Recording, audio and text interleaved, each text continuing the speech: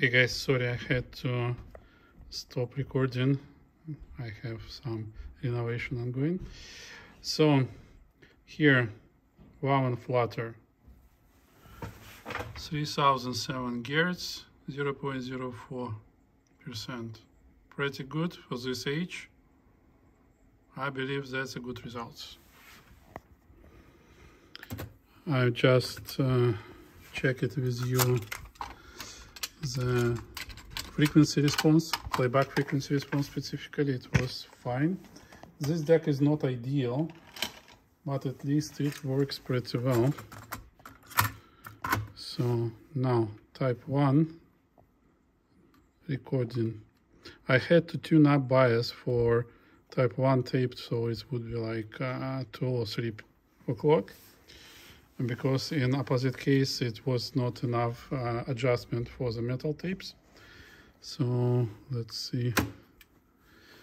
Let me select levels. Okay. Minus 20 so it's source and tape. Good. Calibration. So bias. Perfect levels perfect. Okay. Minus 20 let's do reoccurred white noise. Yeah see? For this tape type I, I had to I tune up for metal and chrome tapes. And in this case you see uh, the bias on one channel for normal tape it gets higher and I, I tried multiple cases and I cannot change it. So it's uh, using milliwatt meter it's like two and a half decibel higher. Here in the program now I see that it's about five decibel. It would not be sounding bad. Specifically the owner uses mostly chrome and metal tapes. So let's see how other tapes will perform. Uh, let me see so now let's switch to the chrome tape. Chrome tape tuning bias a little bit levels. Yeah this tape levels off between left and right channel. Now there's the final result not ideal but I would say not pretty bad, like 3 decibel difference between left and right channel. It's not bad and it's will record till 15 kilohertz. Okay, good. And now let's check metal tape. Type 4. Now let me adjust parameters. So bias and levels mostly fine. And that's the recording on the metal tape. And that's the best one I can do with this deck.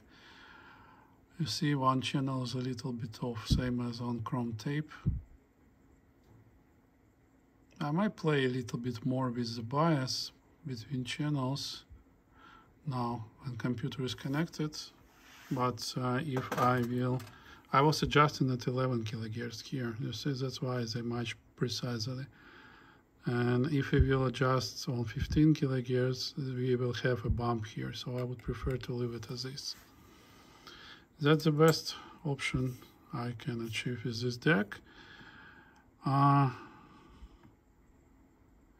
I tried multiple cases so like 10 kilohertz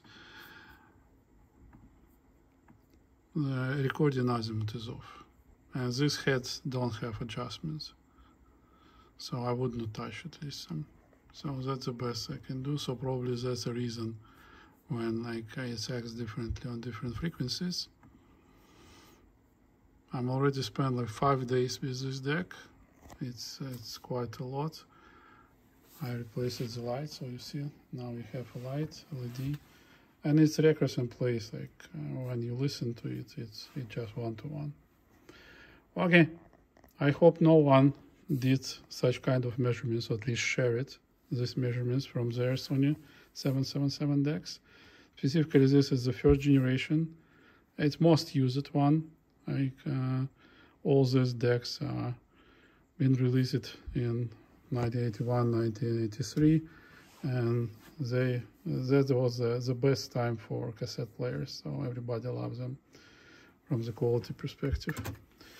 Okay, that would be it. So concluding that this deck is not perfect, but it's very good.